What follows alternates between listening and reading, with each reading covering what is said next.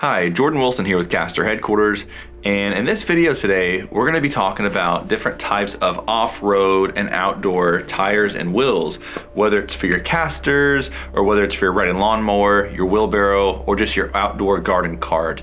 Really doesn't matter, but we wanna discuss the different options that are out there as far as the wheels and tires, so you can decide which tire option is best for your application. So we'll go and start with one of the most well-known casters out there, and that would be an air-filled pneumatic tire. Now I have one right here that is installed in a complete caster. So this is a complete caster. Sorry, the lighting in front of me is gonna reflect off the metal a little bit, and that's just because we have a really bright zinc plated finish. Now, this caster right here is going to obviously have an air-filled pneumatic tire, and you can tell because it has a valve stem right here. Now, air-filled tires or air-filled casters in general are going to be the best caster and tire combination for a lot of applications, especially if you want the smoothest ride. So if you want a ride that's going to absorb shock and vibration and that's going to roll over rocks and debris outdoors, then an air-filled is going to be your best option. Now, the only downside to it is you do have to periodically check the tire pressure and you will need to add air.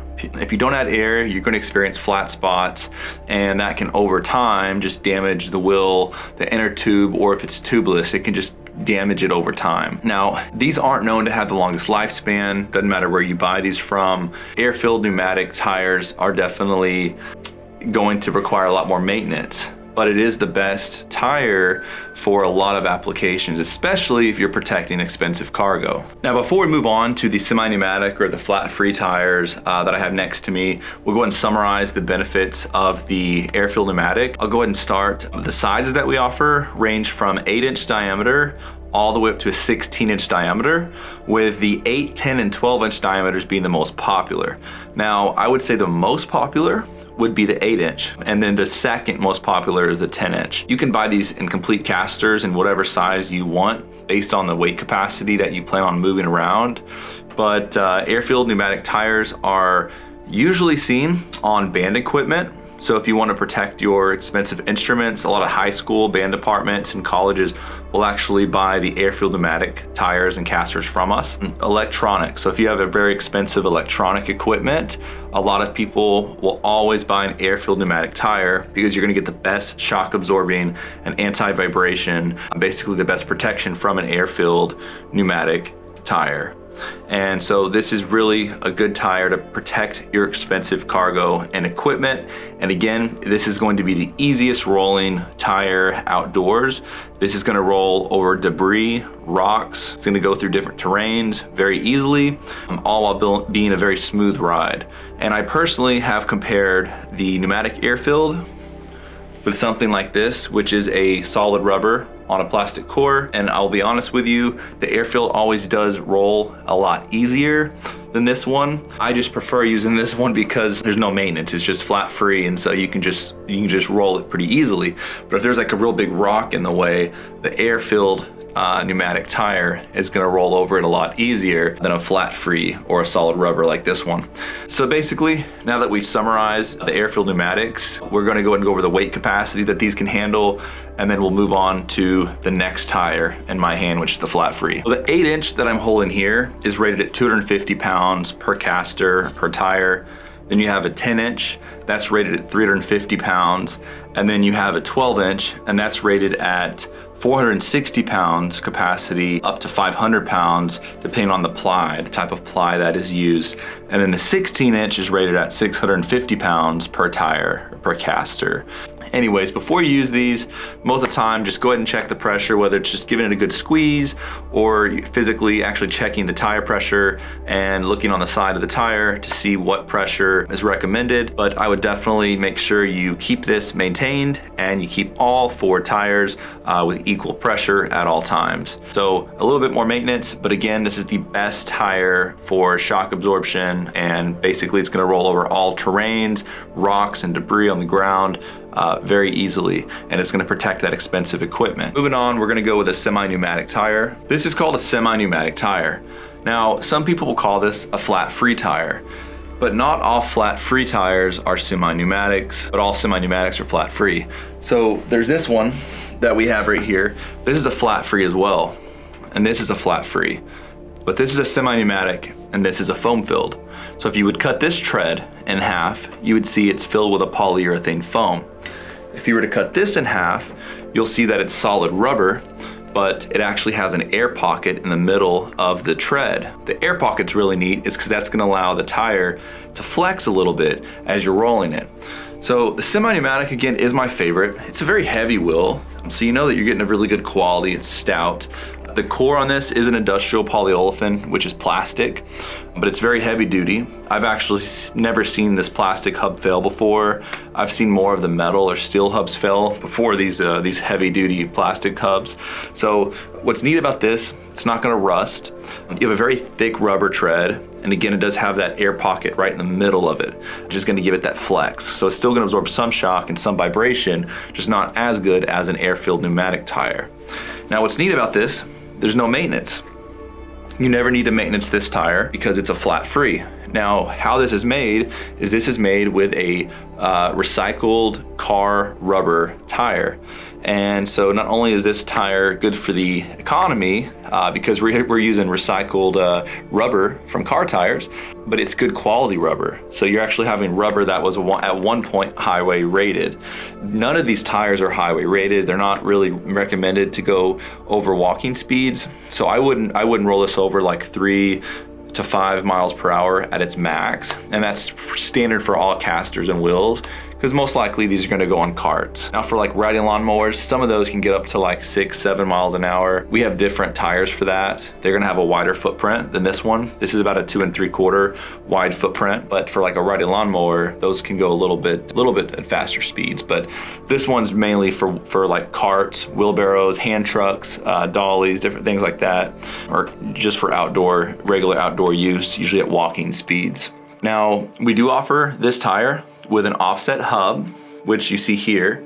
An offset hub basically means this hub sticks past the tread and this one is actually inside of the hub. It's in, it's it's basically inset, and so we do have centered hubs as well. And the centered hubs is where it looks like this. It's going to be flush with the outside of the tread on both sides. And the centered hub is basically used for casters. An offset hub is used for your different equipment. So typically your wheelbarrow or your some carts and hand trucks are typically going to require an offset hub.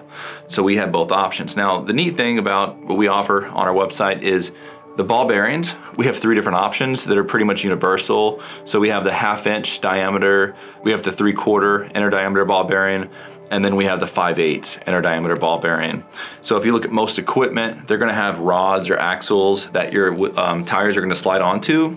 Well, we have universal fit. So you can kind of measure the, the rate, the diameter, outer diameter of that rod, and you can determine whether it's like half inch, 5 8 or 3 quarter, and then you can basically go and pick your bearing size when you order the wheel on the website. And just to, to pretty much help you find a really quick and easy replacement uh, tire for your application. So the semi-pneumatic tire that I'm holding here, we offer in a lot of different sizes. We offer these in a six inch diameter, seven inch diameter, which is kind of rare, an eight inch, 10 inch, and 12 inch diameter. This is a 10 inch, but the eight inch size, one size smaller than this, actually holds 450 pounds per tire.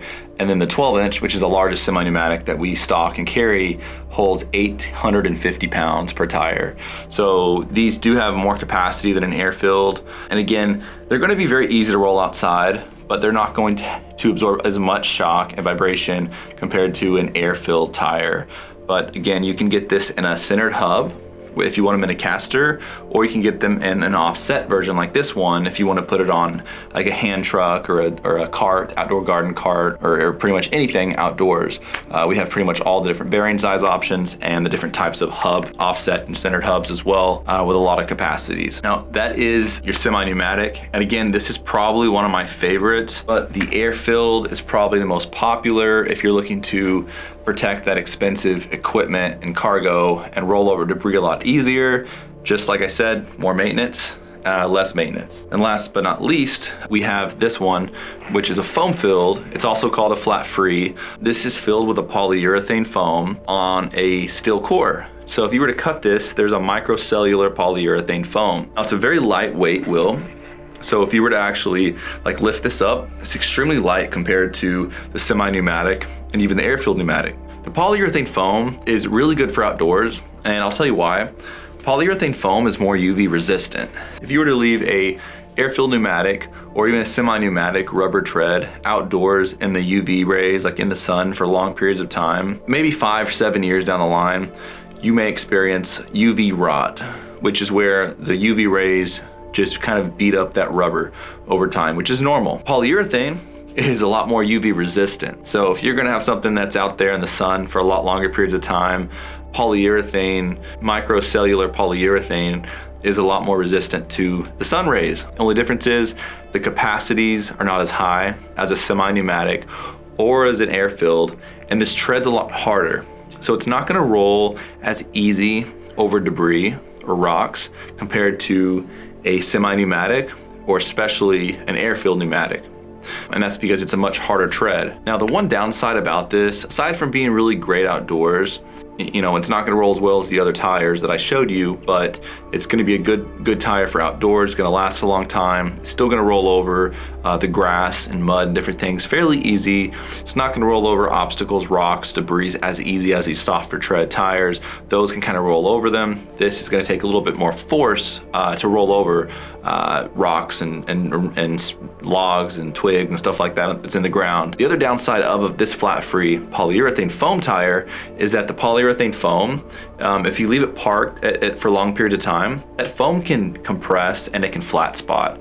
And so that's one downside of the flat free foam filled tires is it has the potential to flat spot over time.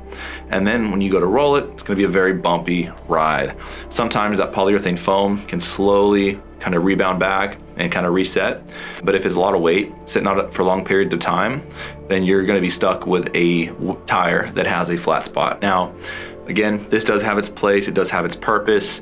If this is going on something where you're not exceeding the weight capacity, let's say you're well under the weight capacity, you're not gonna have to worry about this flat spotting. Again, since it's UV resistant, you can leave this outside in the sun for longer periods of time compared to a rubber tire and it's going to last a lot longer. It's not going to experience that UV rot that rubber does experience over years and years of, of abuse or uh, just of being exposed to the sun for long periods of time. This does have its place. And next, we're going to go over the capacities of the flat free foam fill. Comes in a six inch diameter. Um, and this is a six by two, so you can kind of see what it looks like. Uh, so six inch all the way up to a 16 inch diameter. This flat free polyurethane foam tire has a little bit less capacity than let's say the air filled or the um, semi-pneumatic, which is that solid rubber tire. Uh, so this one has less capacity because it's just a foam. So it's, it, it's basically more prone to flat spot with a lot of weight on it. So the weight capacities are gonna range from 150 pounds for the six inch and they're gonna go all the way up to 520 pounds for the 16 inch. Someone once told me in the caster industry that the best way to prevent a flat spot is to calculate the caster's load capacity times three.